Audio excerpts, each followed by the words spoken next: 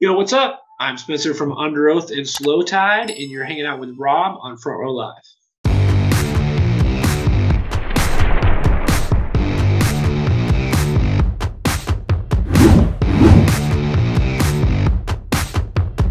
now that we get to talk about this new project, solo project, um, new sound from you, um, you know, obviously, you know, I love Underoath and everything that you've done um, vocally with Underoath. But listening to this new style and sound from you, like I'm loving this as well. So, talk to me a little bit about Slo/Tide. And I know this was an idea back in 2015, but what was that creative process from 2015 to now when you're finally releasing new music? Well, so I'll, I'll like kind of break it down the best that I can here. So, like, I've been playing in bands my whole life. Like, a, like the first shows that were like sold out at my local venues and stuff. I was like in a band with my older brother and I was like 12 years old. I've been in rock bands, I've been in punk bands, I've been in hardcore bands, I've been in just like, you know, I, I don't know, like everything you could think of as far as it requires guitar, bass, keyboards, or, you know, like I've never been in like a country or hip hop act, but pretty much everything else, like I've, I've all, I've just I'm a music lover, so like I've always written music of all different shapes and sizes, you know. Um, so if we fa- if we go back to like 2013 when Underoath broke up, I started a project called Sleepwave, and it was a duo, and that was kind of to take the place of Underoath. Like I thought at that point in my life, if Underoath was going to be done, like I listened to everything. I don't even really particularly listen to a ton of heavy music because I'm surrounded by it all the time. But um, if you took that part of my life out, like Underoath breaking up, and I wasn't wanting it to break up at that time, I was like, I have to have that outlet. So I started another like kind of heavier style band, you know, something where I could get the the aggression out and that kind of kind of thing. So when Underoath started to get back together, I was writing the second Sleepwave record, and most of it it like kind of had this weird shift because there was a duo. There was a lot of like drugs and alcohol back then and just we weren't in really great spots in our lives.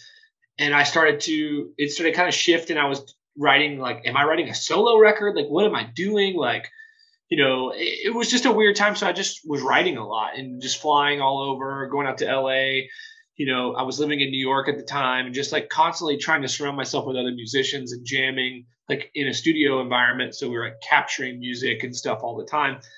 And um, in 2015, I, I, was just like, you know what? Like, I just want to like make some music that I want to listen to. And me and my buddy Nick, we were in California. Nick Bailey, he's like a great writer now. He's like done a lot of rad shit. Um, is this is this like, from Runner Runner? I think so. Yeah. Okay. Nick Bailey. Nice. I, I don't know if that's. Let me let me. Runner Runner over it. I think it was like. Yeah. Okay, cool. Like he's like a big writer now. Like he's written on like big pop songs and shit. He's that's uh, awesome. He's a rad dude. He's just like a homie, and we like we we just like made like a jammy, surfy song because we just wanted to have fun. We're like, what we're supposed to do today? Let's let's just do something fun. And it sparked this idea of like, man, I'm always writing stuff like this. Like I should do something with this one day. Okay, so then Underoath decides to completely get back together in 2016 so my my focus kind of shifts and I've got a grip of I got like six or seven sleepwave songs and I've got like a couple what would be the in the lane of slo/tide. Um, that none of those songs ever made the record that I finished in March. But so I shift focus to Underoath, Underoath tours. We make a record.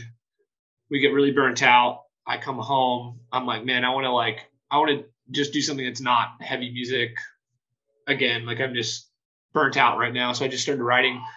Um, I did like two or three songs, just like with homies and some alone, and then boom, happened. So now I've got, you know, we've started writing an Underoath record, and I've started writing solo stuff, and now I'm locked down in my house for we who knows? You know, like at that point, it got real scary. There was even talks of like, will live music ever even come back? Like, is it ever going to be possible to tour uh, the way that we used to tour? So I just figured, like, hey man, I'm just I, I'm not going to cry about it. I'm not going to like mope around my house and get depressed. And I, I tried my best to just stay busy every day. So I kind of set a schedule for myself where I wake up in in like I had this back room in the house that I had at the time, and I would go back there and had my stu- all my studio stuff set up. It's like nothing crazy. I just had enough to make music, you know, and would go and sit down and and make music every day. And at the same time, I'm flying in and out of Tampa, working on our stuff. So by the time I leave to make the Underoath record in January, I had about 15 slo/tide songs. Um, so I booked my other homie, Maika. He you might have known him from the There For Tomorrow, and he's got his project Maika now. We he actually did the first Sleepwave demo. Like we're just all homies, you know. Like, um, and Chris actually from There For Tomorrow played in Sleepwave for a while. We just have this group of friends, you know. So I me I booked uh, two weeks at Maika's house to make this record. Um, just because I trust him and I love him and I, you know, like he, I think he's a great producer and just a killer dude all around. So I make the Underoath record from January to March. No, January to the end of February. I go home for five days and then I fly back to Orlando and do and make my record. And I went in with 15 songs. We cut 10 and wrote an 11th one in the studio. So none of the old stuff from like 2015 made the cut, but everything that I started writing right before January 2019 through 2021 is what's on that record. So in the exact same time frame that I was writing Underoath, and uh, and I think that you know Aaron, our drummer, has an outlet. You know, he does Aaron Gillespie stuff, which is quite opposite of Underoath as well. And then me having this, I think it's great that we get to do what we do, but it also like clears the way, I guess, for Underoath to do what Underoath needs to do. I think as a writer, as an artist, you have all these things that you need to express and get out. Like as a painter, you need to paint to express yourself. And if these certain sides of you are not being um, executed upon, like they're going to start to find their way into the only place you can. You know, I'm only allowed to do Underoath. Like I have to be this guy. Like that's who I am to the world and and I understand that, but like in reality, I'm not like that. That's maybe 10% of the music that I've worked on my whole life. You know, like I've, I do so much more behind the scenes and working with other artists and stuff that I do that I just never comes out. So I was like, you know what? Fuck that. I'm just to, I'm to do something with this stuff. And, uh, I just kind of put my foot down on myself and was like, I want to, I want to just make this record.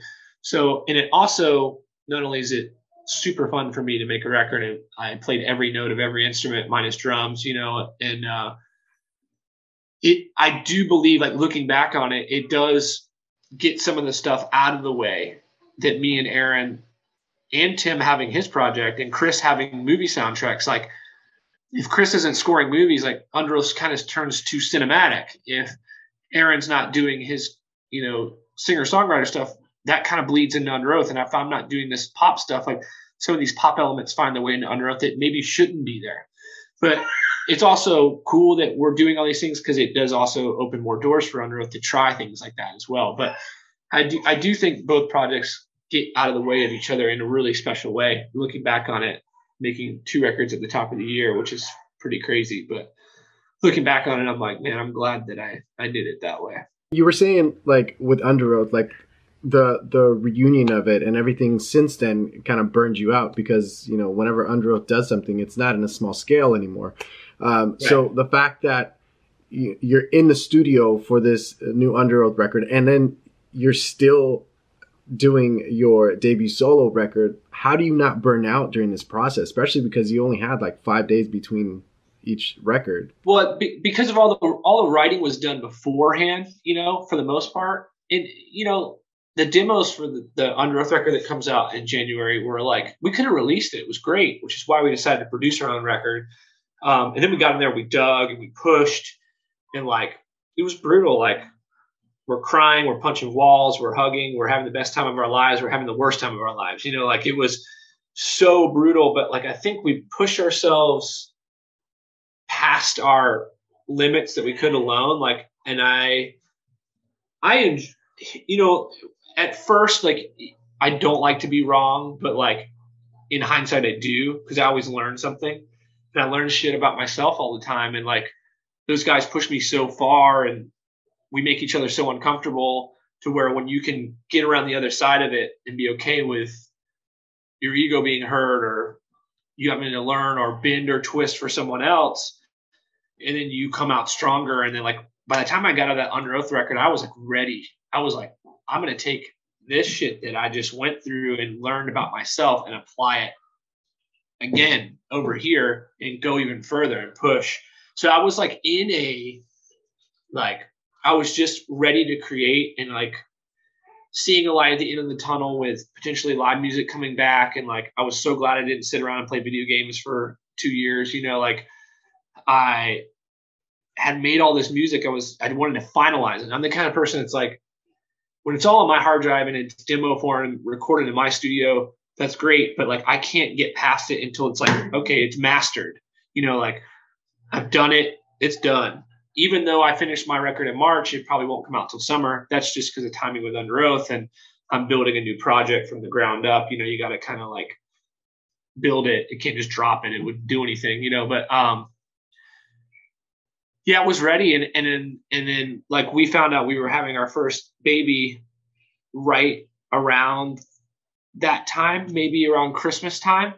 So I was also like had this weird motivation, you know, like oh, I'm going to have a baby and like, I want to be like even, you know, I've been on this journey for like five plus years ever since like kicking all the bad habits and like trying to make myself a better man and healthy and, you know, just physically and mentally. And then when you find out you're having a, a child, it's like, like, you know, like multiplies it by a hundred and you're like, dang, like I want to do this not just for me now, but also for her. You know, like you're like, so I had like all this motivation to just like make the best music that I ever made in my life. And I and I do feel like walking away from both of those records, those are the two best records I've made so far. So um yeah, I'm I didn't get burnt out at all. I was like stoked to work, you know, like being trapped and like off tour. Like I haven't that's the longest I've been since playing a show in front of people since I was 12 years old. You know, like when I was a kid, like I said earlier, like I was in bands all the time and like we played at least once a month live, like my whole life.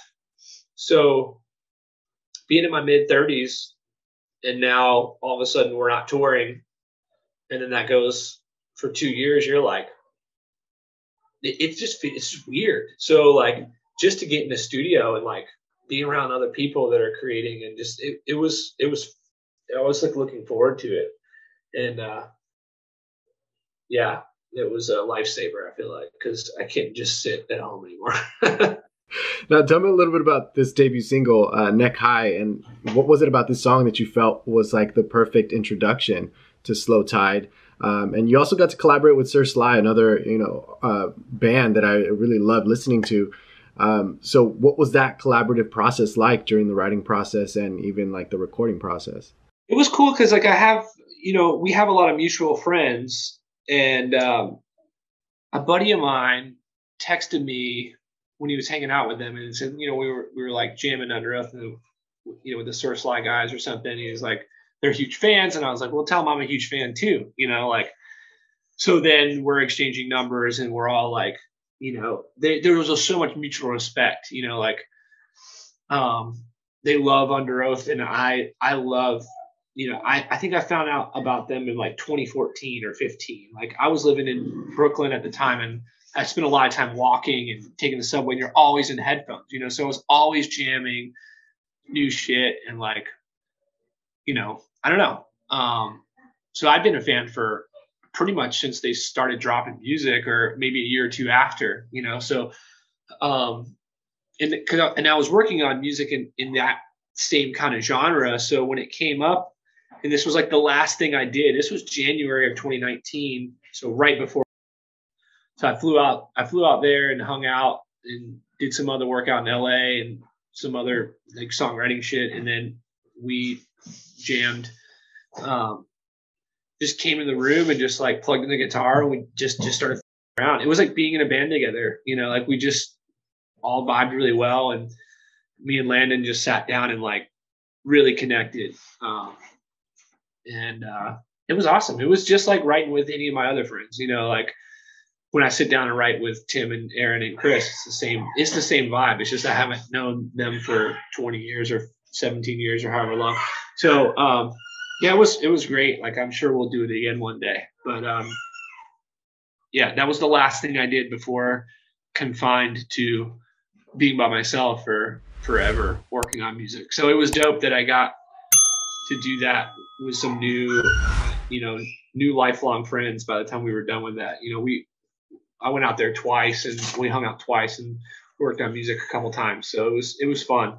And Neck High was one of those uh, one of those jam sessions. And then I took that and you know worked on it some more at home. And then when I went to the studio with Maika, we you know fine tuned it to where we thought it was gonna be dope. You know, and um, as far as picking that as the opening track, like I didn't really know. Like I, I, I want to release every song at once. That's just what I'm like. I like when people hear the whole vision because the the album is an album, you know. Um, so I just kind of listened to like the team on that one, and it's upbeat and it's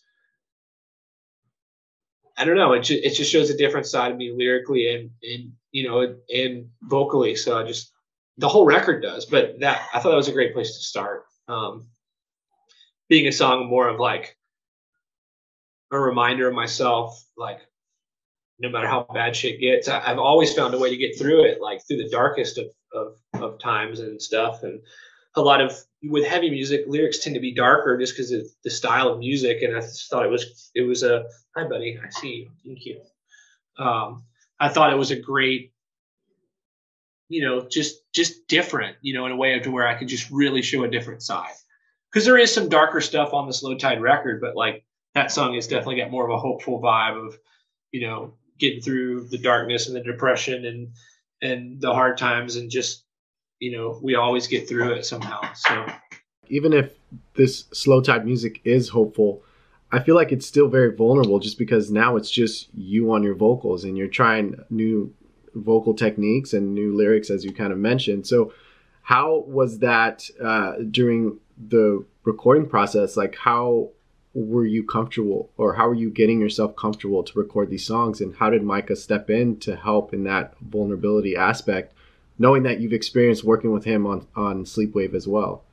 Yeah my you know me and maika had done some writing together in the past and stuff and um, he's tracked me a, handful of times and we're on that the same path too. Like we're both gone through the dark shit. You know we've both got off drugs and we're like on a good path. And we just have like a you know he's almost got like a spiritual vibe to him of like it's like it's hard to explain. Like he's one of those people that you could just hug. You know what i mean? Like you're so comfortable because he's just such a genuine person. And that's what i look for when i'm working with people is like i want to work with good people. I want to not not necessarily you don't have to be the most talented person in the world even though mike is extremely talented. Like like good-hearted people, like people that you connect with on a on a you know on a different level, where you just feel like you can be yourself.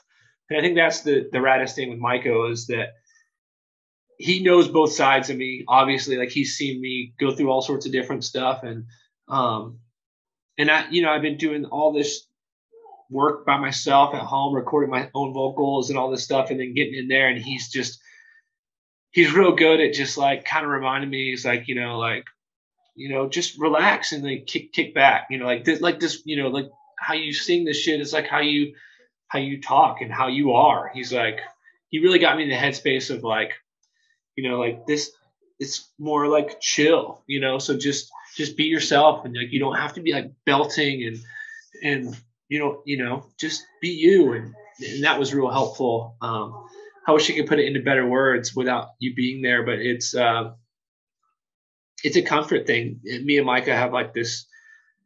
We've worked together, like I said, on, on a couple of things that just over the years, like even outside of Slo/Tide and, and or outside of Sleepwave and all that stuff, and we we've always just found ourselves in a room together, just randomly working on writing and shit. So he's uh yeah, I, I don't think I'll ever make a, a slo/tide record without him. I, I think he's just like he's like my dude, you know, like he he he just gets it. It's like brothers from a different mother kind of vibe, you know. Like I don't know, it's just super comfortable. Like me and him together can just. It's like no weirdness at all, which is hard when you're working on music. I, I think like even the Underoath guys, like we have a lot of like tension and like things get uncomfortable and people get their feelings hurt, and I think that's what makes it special. But for this I wanted to do something that's like, this is just me. Like, this shouldn't be uncomfortable. This shouldn't be tense. Like, I should be pumped and stoked and excited and have someone that I trust that can help me capture what I'm painting in my brain and like what I'm going for. And like, you know, and I trust him when, when I'm like seeing something, he's like, you know, actually like lay that back and like, you know, drop it down, you know, there instead of going up and i'm like okay yeah yeah i'll try that you know like it's that kind of vibe it's not there's no weirdness there so it's a real healthy working environment uh, for me and maika so. For you vocally what did you do differently with with this uh, with this record and did you find yourself learning how to sing um, in order to hit certain ranges or vocal ranges that you added to this record um I've been, you know, I've done that my whole life though. Like I was singing in bands before I was screaming in bands, and then you know, I do a lot of singing in the Underoath records and all sorts of different vocal techniques. I've had a vocal coach since like 2005 or six, and every every year that I start writing music, I find myself able to do more things. I just had to put my mind to it. Like I hear things that I haven't done and I want to do it. I just practice. You know, like I do vocal warm ups before every session, before every practice, before every re- recording session, before every um, show, and I've been doing that for so long. It's like working out. Like if you work out every day for 20 years, you're going to be pretty ripped, you know, unless you're eating fast food all the time. And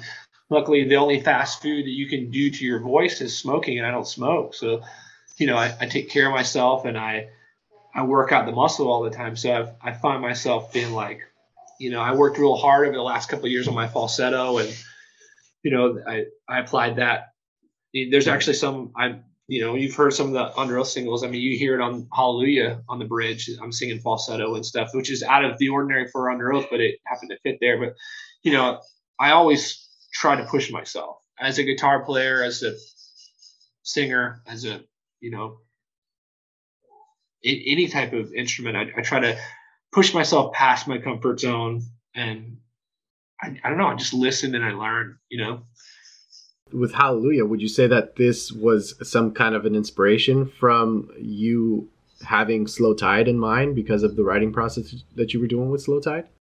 Yeah, probably. Like those being it coming in and being like, I'm going to sing falsetto here on the bridge, you know. And it was, it's funny because it wasn't even like I'm, I, I didn't come in like, I want to do this here because I'm doing Just this all over my other project. No, we were sitting there, and the bridge was ri- originally that vocoder that you hear in the back, which is Aaron, and then I come in at the end with the higher yelling, singing vocal before the scream in the breakdown there, and then we thought it was empty, and we thought Chris was going to fill it up more, and then as it went, and I was like, I just sang it super light, and the engineer was right next to me. I was like, we need something else. And I was like, you know, something like this. And I sang that and it's, you know, falsetto and kind of quiet. He goes, get in there and do that. And I was like, are you sure? Like for this? So it was more like our, the engineer, JJ, uh, who heard me explaining something. Like I was like, we need something in there. Like I didn't, I wasn't even suggesting it was me. I was like, maybe Aaron goes in there and does this or whatever. And I just sang this thing and, and he was like, go in there and do that. And that's what ended up living on the record. So I went in there and sang that. so, but yeah, I don't think I would have thought of that if I hadn't been working on music that I'm doing a lot more falsetto and different vocal styles for sure. Lastly, to close us off, like I mean, obviously the last two years have been uh, have been exhausting, have been painful, have been you know heavy on everybody. But you know, you coming in and working on these two I want to say massive records because I feel like Slo/Tide is not gonna be a slow thing. I feel like it's gonna it's gonna build pretty fast. I appreciate um, But you coming in and working on these records together, being able to successfully record the records, being able to release music, and then prepping for you know tours and other releases. What was the biggest challenge that you felt you faced during this entire process? Well, I mean, the biggest challenge, I mean, it was the fear at, at times of being like, should I not be traveling? Like, am I being selfish? Like r- traveling into to do on, Underoath stuff, you know, and my lady's pregnant and, you know, it's very much a thing. And like, we took all precautions, we took and stuff, but I felt like, should I not be doing this? You know, at times and, um,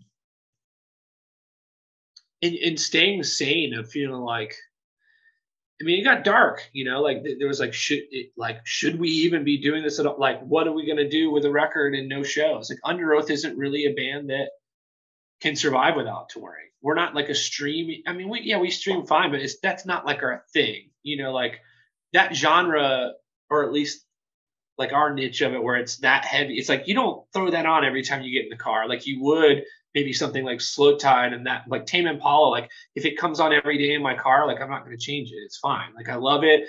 I love it when I'm paying attention to the headphones and I love it when it's in the background, like I'm just driving or chilling, you know. But if Underoath type band came on every time I got my car, I'm like, God, I gotta, this is too much, you know. So it's like, I, there was times where it's like, like, what are we gonna do? Like, are we, are we doomed? You know. And that was, a, that was a hard to stay out of that headspace. And I do think that when we did those live streams in the middle that like that helped my head a lot like mentally not get too defeated with with where the you know music industry is at. Because like I feel like our industry got hit one of the hardest if not the hardest. It's like still suffering. And like if it's not already hard enough you know for bands out there with you know it's tough. And uh when shows are canceling and tours are being postponed or canceled and taking two years off and man i don't know how some of the artists are going to recover from it but um, yeah it was it was it was that was probably the hardest part was to keep my head out of the gutter like that like i just had to stay positive i just focused on the songs and like being stoked that me and my friends, you know, Underoath dudes, like we're making the best stuff we've ever made, and we're feeling good about it. Like I haven't felt that way in the studio since like define the great line days of like we're really doing something. I felt like real like man there's something happening here you know like and then doing the Slo/Tide stuff is just like me by myself being able to paint whatever picture i want and then like getting a team together during like getting signed and getting management and like all this stuff is happening off my demos and i'm like cool i'm booking the record and i'm gonna go. And like all of that stuff kept kept me positive.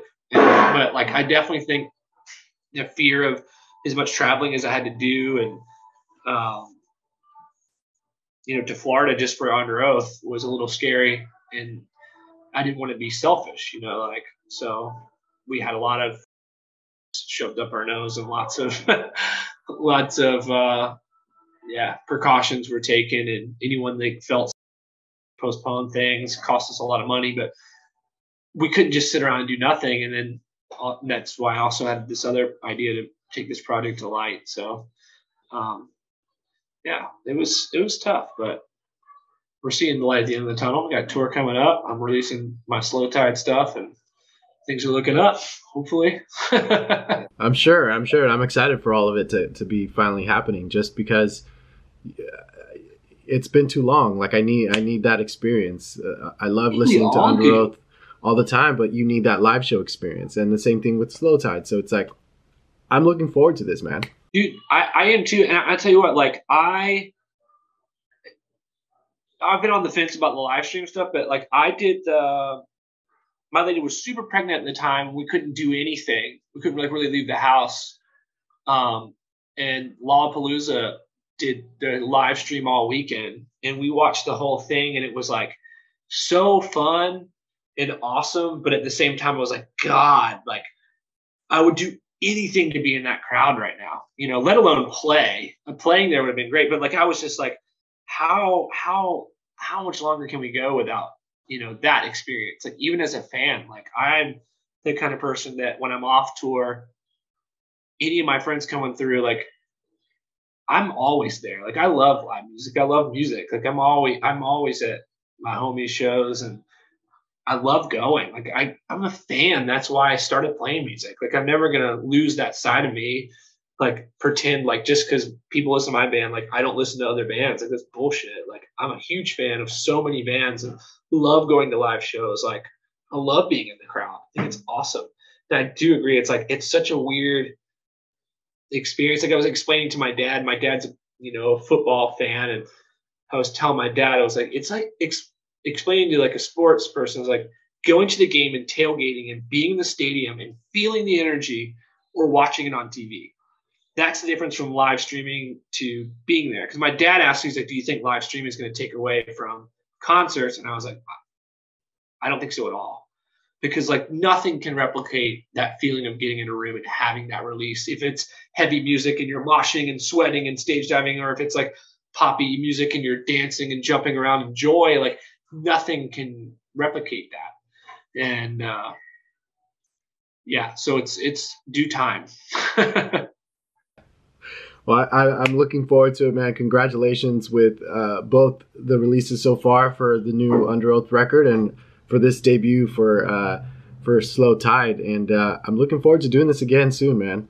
Yeah, yeah, we'll do we'll do some more chats. I got I'm gonna be dropping songs randomly until I drop the whole record, but the record's done and you know it's just timing. I got I do gotta give each band its proper space. So yeah, just don't burn yourself out. That's the, I mean I feel like that's gonna be the hardest part. So I think I think nowadays though I was having this conversation. I know we're we're wrapping it up, but I was having this conversation with my brother. It's not like it was though like the it, the biggest shift in music I've seen is that bands don't go out there and grind like they used to.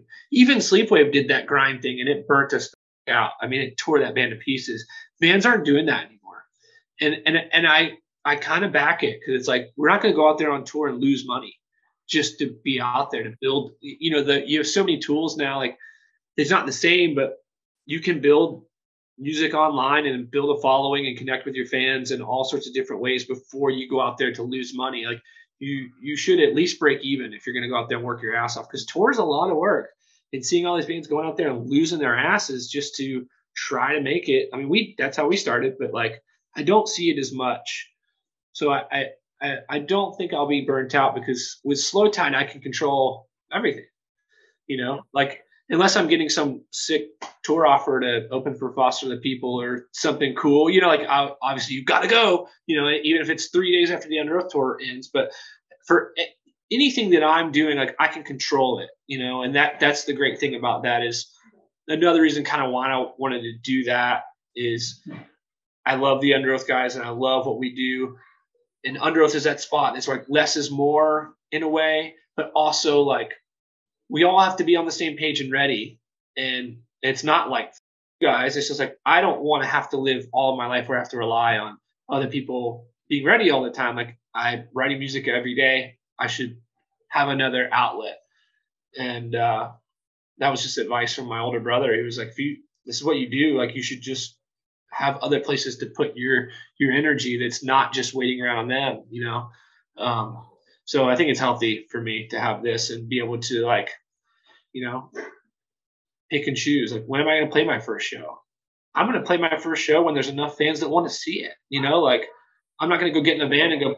Yeah, I'm not going to go get in a van and drive around and play bars for a bunch of people that don't want to hear it or don't know what it is. Like, will I open for people and do that? Sure, that would be great. But if I don't have those opportunities, I'm going to wait and, and put and debut the band live when it's ready and people want to see it. You know, so took 20 years to learn that. So I mean, yeah. do it right, right? Know, right. Took us half our lives to figure it out. I'm sure you'll do great, man. Well, congrats with it again, and congrats with uh, with the newborn. Um, and Thank you, man. Appreciate you said it. you just recently moved as well, so a lot of good things happening. So yeah, yeah, yeah. It's been a crazy couple of years. So